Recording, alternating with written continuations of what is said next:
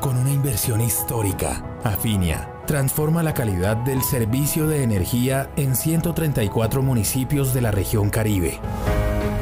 En el 2022 se invertirán 1.064 billones de pesos que nos permitirán fortalecer la infraestructura eléctrica en Bolívar, Cesar, Córdoba, Sucre y 11 municipios del Magdalena.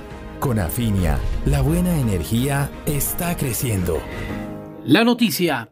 La investigación por el crimen del fiscal paraguayo Marcelo Pecci, ocurrido el pasado 10 de mayo en una playa de la isla de Barú, cerca de Cartagena, dejó una masiva captura de extraditables en las últimas horas. Los afectados serán 12 colombianos, dos venezolanos, un italiano, un dominicano, un holandés y un albanés. Las capturas se desarrollaron en los departamentos de Cundinamarca, Valle del Cauca, Risaralda, Antioquia, Bolívar, Atlántico, Nariño y Bogotá.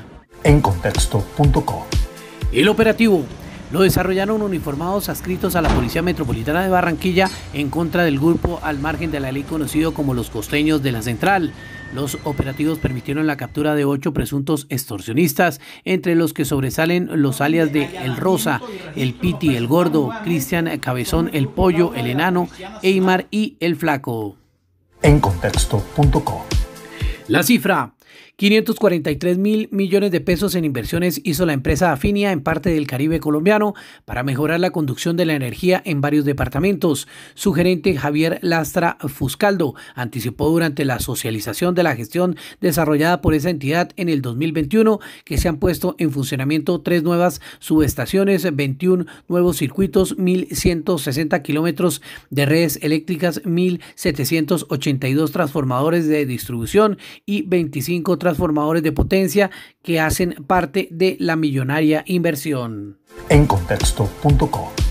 Lo bueno, la presentación artística del maestro Eduardo Butrón, denominada El Cangrejo Azul, que busca crear conciencia sobre el arte del reciclaje. El calor humano de la gente, el apoyo también de todos, es muy importante.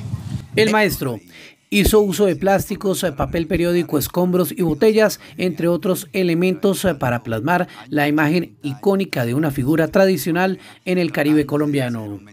En contexto.co.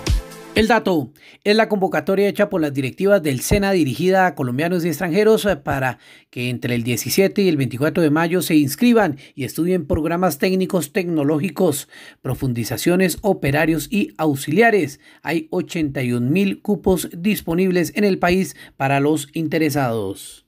En contexto.co